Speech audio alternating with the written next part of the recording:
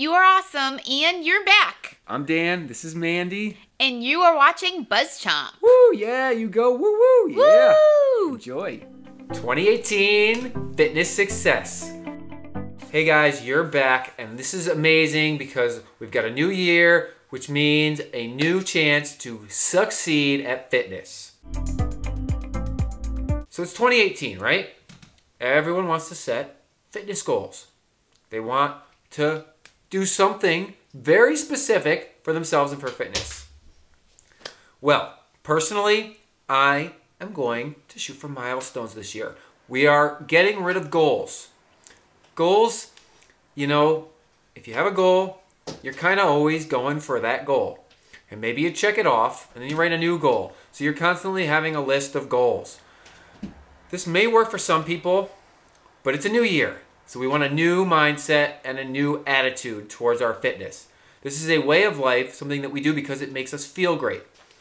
I love how I feel after I exercise. So I'm going to be setting some milestones for myself this year. The first milestone is six weeks. So basically, Valentine's Day. That's our first milestone for the year. I want you to shoot between now and our six week mark, Valentine's Day, to just do enough fitness so you feel amazing.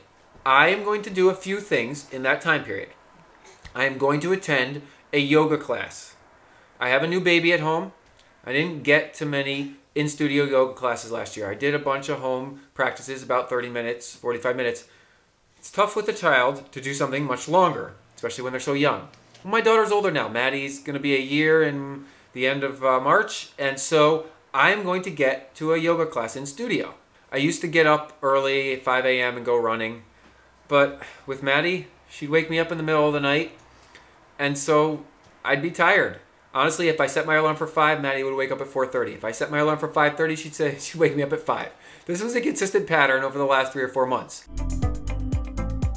Before our first milestone of the year, I'm going to get outside and go running early in the morning in the 5 o'clock hour. There's nobody out. It's liberating, it's freeing, and it just sets the tone for the day. I absolutely love going for a first thing run in the morning. I do it all the time on the weekends. My wife and I, Mandi, and I get out and do it but I haven't done it much during the week. Well, that's all changing. We got a new year, and this is our New Year fitness success. I'm also going to get up and do bigger, longer circuits, full 30 to 45 minute circuits. I have the time, I'm going to be well rested, and I'm going to do it. I want you to pick three to four things that you're going to achieve that you want to do in the first part of the year. These are goals.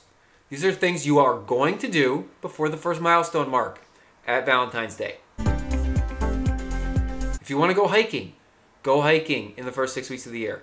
I understand if you're in a cold weather climate, that might be tough. Maybe you just want to get outside for a run as often as possible. Well, as long as you get out a few times, that's great. You've done what you said you were going to do before our first milestone. The key to our fitness success is doing things that are fun, that we enjoy, that make us feel great afterwards. There's nothing worse than exercising for 30 minutes to an hour and afterwards being like, that absolutely sucked. I hated it. And you've basically ruined the good feeling that the exercise gives you. The uh, blood flowing, the heartbeat up, the sweat, all that purge and cardio goodness and strength, like you want to feel strong, all that goes out the window if you have a negative feeling about your exercise. If you don't like the rowing machine, don't do the rowing machine. I don't particularly enjoy it, so I don't do it.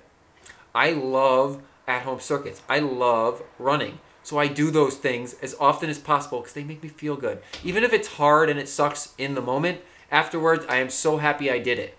Those are what you want to be doing for fitness, especially during these winter months. You're not going to be exercising as much when it's colder. It's just the fact of life. We all set these lofty goals to kick off the new year, yet it's wintertime. It's hard to achieve them. Just pick three to four things that you're going to do and then do them by our first milestone mark. 2018 fitness success, baby. We're setting milestones and we're doing things by those milestone marks. You know what the great thing about a milestone is? If you happen to not do one of those three to four things that you said you wanted to do, you can do them by the next milestone, or you can push your milestone back. The key is that you're feeling good, getting strong, and sweating.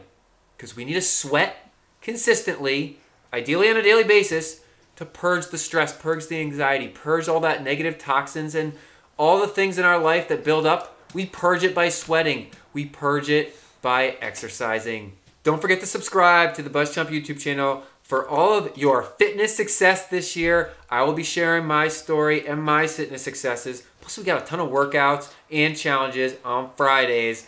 BuzzChomp is one of your new homes for fitness in the new year. Comment below if you got questions because I'm going to help you train in fitness. 2018 Fitness Success.